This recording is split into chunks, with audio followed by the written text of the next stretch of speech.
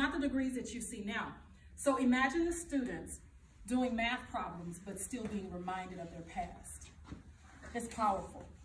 And instead of, and this is made of glass, so no one can mess it up. It's because it's glass, you know, you can wipe it off. But you can just imagine students come in here, they get really quiet, and it almost has a, have a, has a museum feel to it. Okay? So that's this part of it. And set When the material. classes This just is- started, I'm feeling, thanks to you, that even like I need to this see year, yeah. And So we'll keep coming. It's giving you feeling of more to the library. Somebody right there. Um, This is actually an old newspaper from 1913. Not sure if you saw it.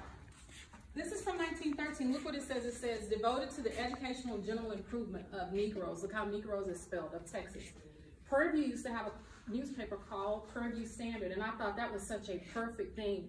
There is a Prairie View Standard, I think that Dr. Ruth Simmons is trying to re, bring back to life, not knowing that we had this old newspaper.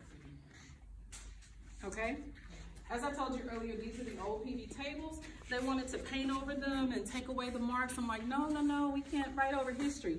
So all we did to these is put a white table, and this is actually whiteboard, another place for the students to write on.